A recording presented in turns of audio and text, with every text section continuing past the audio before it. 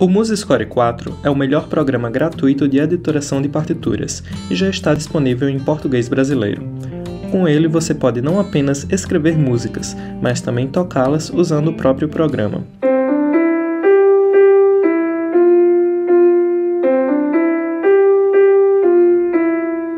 Para baixá-lo, abra um navegador como Google Chrome ou Microsoft Edge e digite na barra de pesquisa musescore.org. A página inicial já reconhece o seu sistema operacional, seja Windows, macOS ou Linux, então basta clicar nesse botão branco para baixar o programa. O download deverá aparecer em alguma parte do seu navegador, geralmente aqui em cima à direita ou embaixo à esquerda. O arquivo baixado, chamado de MuseHub, contém o MuseScore e alguns outros programas e bibliotecas de sons que podem ser do seu interesse.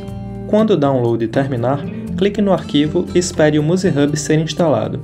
Se o seu computador for antigo ou não tiver configurações muito boas, talvez dê um erro na instalação. Nesse caso, sugiro que você volte ao site e clique aqui em Download MuseScore Without MuseHub para baixar apenas a versão básica do programa, sem os novos sons e efeitos, mas que também é excelente. Nesse caso, basta clicar no arquivo após o download ser concluído e clicar em Avançar ou Next até que ele seja instalado. O programa abrirá automaticamente após a instalação.